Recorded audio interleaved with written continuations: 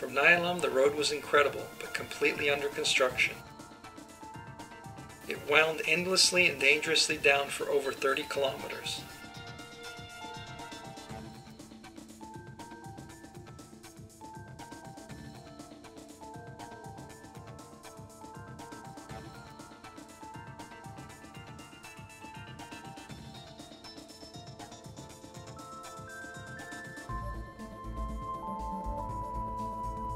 Oh shit, my brakes are not working at all.